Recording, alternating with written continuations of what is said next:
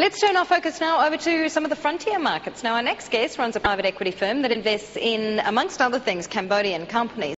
The advantage, of course, of investing like this is that many opportunities do remain largely undiscovered. The pitfalls, though, tend to be underdeveloped legal and infrastructure uh, and also on the capital markets as well.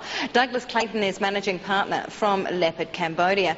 Doug, it's great to have you back with us. Thank you so much for uh, uh joining us once again. How are things going for you? I know that you're focused on a number of these frontier markets. Cambodia is one of them, and uh, obviously you're coming from the PE side, but we've, uh, there's been some difficulty in the launch of the stock exchange over in Cambodia. I guess just a, an example of uh, how things are taking their time over there.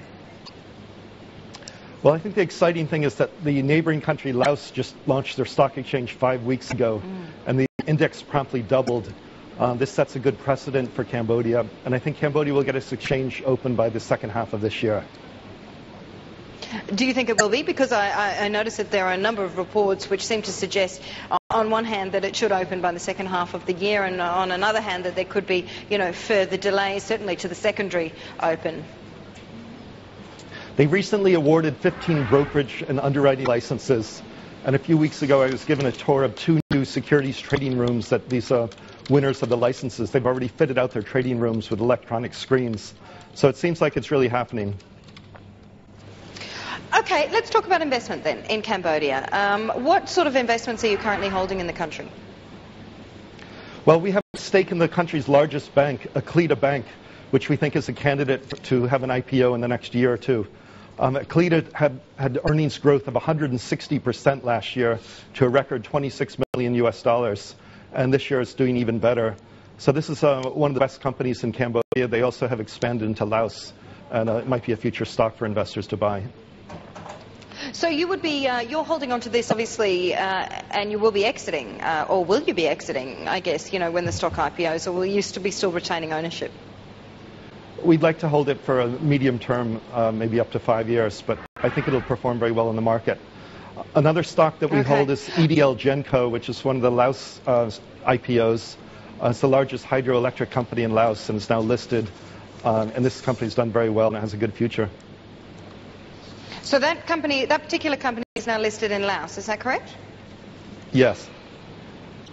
Because from what I understand, there aren't very many, uh, there aren't very many companies that are currently listed on that stock exchange. It is obviously, as you mentioned, a very new stock exchange.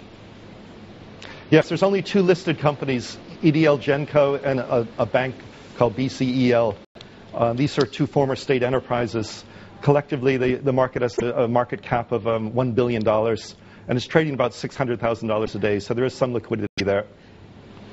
You would imagine that it would be fairly difficult to exit some of these uh, uh, trades. So, I mean, I guess uh, uh for you, you're exiting uh, one particular company that you just mentioned to us via an IPO, or you could be exiting if you if you chose to at the time.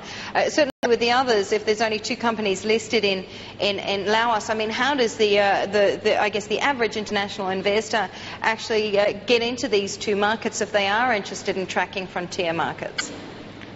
Um, there'll be five new IPOs expected in Laos over the coming year. Um, there's two international brokerages that have affiliates there, one from Thailand, one from Vietnam. So it is possible to invest there, but investors who are interested should probably make a visit there and check it out yourself. Might be a wise idea. I've heard it's beautiful over there. Uh, Doug, great to have you with us. Thank you so much for joining us. So once again, Douglas Clayton from Leopard Cambodia.